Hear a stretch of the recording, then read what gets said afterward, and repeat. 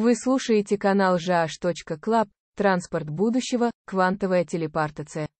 Когда люди слышат словосочетание «квантовая телепортация», то ключевым словом для них выступает второе, то есть обыватель концентрируется на том, что это мгновенное передвижение объекта из одной точки в другую. В этой фразе правильно все, кроме одного, никакие объекты с помощью данного способа телепортироваться не могут, перемещаются только их состояние, в результате в любом месте может появиться нечто с такими же свойствами, как у предыдущего объекта. Квант — это частица размерами в миллионы раз меньше, чем атом, и такими образованиями пронизано все вокруг, включая человека. Мы — это не просто кости, мышцы, системы органов. Человек состоит из ощущений, чувств и разноволновых флуктуаций, то есть колебаний.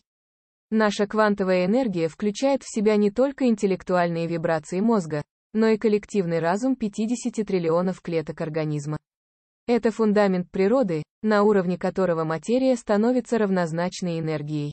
Изначально наше тело состоит именно из квантовых колебаний, которые преобразуются в клетки, органы, мысли и эмоции. Те сигналы, которые посылает нам квантовое тело, мы иногда воспринимаем как интуицию.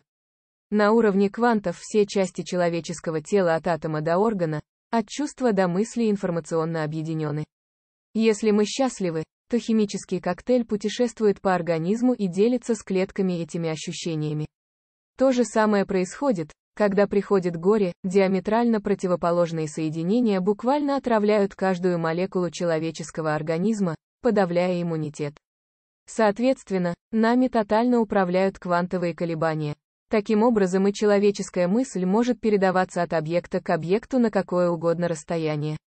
Как только ученые познают природу их процесса и научатся им управлять, в будущем планируется создание глобальных квантовых коммутаторов, все участники которых будут способны мгновенно обмениваться мыслями. Также возможно проектирование компьютеров, которые способны взорвать привычные представления о киберпространстве.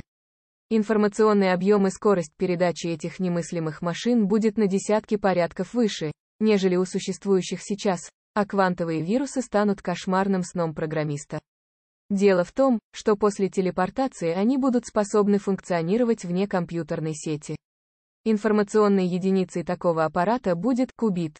Сейчас киберсведения кодируются с помощью последовательности значений единицы и нуля.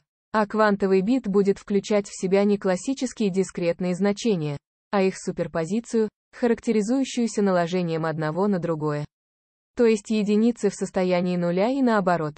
Хотя такое с точки зрения сегодняшней ортодоксальной информатики невозможно. Но самой знаковой целью квантовой телепортации, можно сказать ее венцом, к сожалению, пока недостижимым даже в обозримом будущем, является буквально передача по телеграфу человеческого существа. Пока, с позволения сказать, такие опыты ученые проводили на уровне фотонов. Этот процесс возможен в случае, если у квантового телеграфиста будет на руках весь набор атомов, по сути, полное и подробное описание человека. Тогда с помощью сложного механизма преобразования состояний можно клонировать человека в любой заданной точке. Но не стоит представлять себе кошмарное нашествие клонов, этого не будет. Телепортированная личность по-прежнему остается одна, поскольку та, с которой был взят подробный образец, самостоятельно разрушится сразу после перемещения.